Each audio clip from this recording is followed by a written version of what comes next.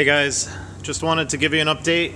Back at the shop today, working on forming the new acrylic that came. So we soften these up in an oven and heat them over top of a form to give them their curve and relax them so that when we glue them up, there's literally no stress on the scoops. We're curving both the small and the large pieces and you can see now we've got our new 1 8 sidewall, 3 16th top and bottom.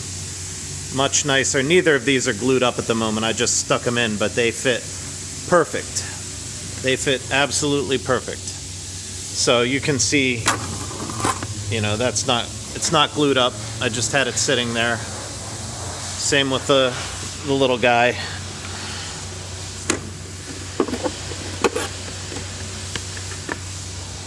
He's just sitting there. I'll tell you, the big ones are um, warming up in the oven and forming beautifully. The little ones are actually more of a pain in the rear end. So that surprised me.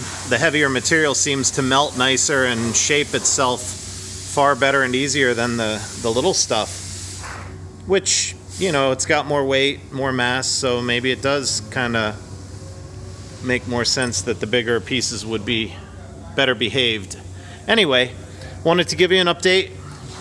I'll be melting away and working on the scoops here today and tomorrow, making uh, probably 10 or 12 of these. So I have two extra. 10 would be the hope to get all 10 onto the assembly and then get them put together for the first functional prototype. All right. Talk to you later.